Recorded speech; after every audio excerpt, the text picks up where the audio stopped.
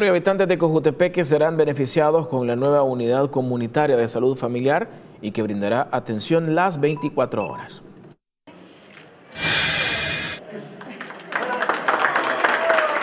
Las instalaciones de la Unidad Comunitaria de Salud Familiar, que lleva el nombre de una mujer francesa y que es premio Nobel, fue inaugurada en Cojutepeque, con diferentes áreas y consultorios renovados para brindar una atención agradable y de calidad a los pacientes. Esta nueva unidad comunitaria de salud, Marie Curie, que lleva el nombre de, de ella, pues para nosotros es un orgullo y me imagino que para el municipio de Cojutepeque mucho más y que es un, homenaje a ella por sus contribuciones a la medicina a nivel mundial.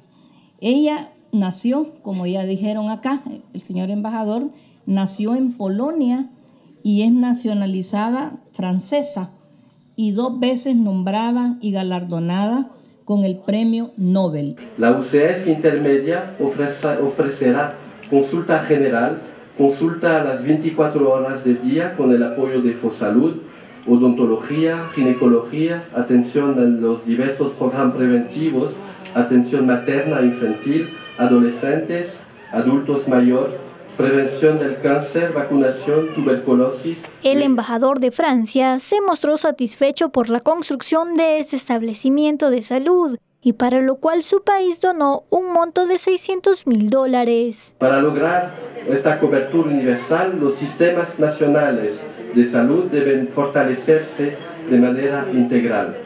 El compromiso político y financiero de Francia, junto a el mismo compromiso del gobierno central de El Salvador, permitió esta realización y estoy particularmente orgulloso de que parte de estas inversiones se hayan asignado a la construcción de esta unidad aquí, en su ciudad.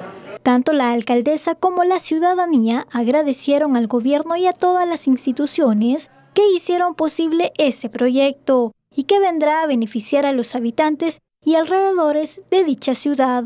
Damos gracias a cada uno de nosotros y en especial a nuestro presidente profesor Salvador Sánchez Serén, así como las autoridades del Ministerio de Salud, por ser los protagonistas del desarrollo en este país en el área de la salud.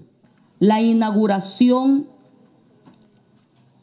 de la unidad de salud que viene a darle un gran servicio a nuestra población, especialmente a las personas que más lo necesita, a la persona más vulnerable.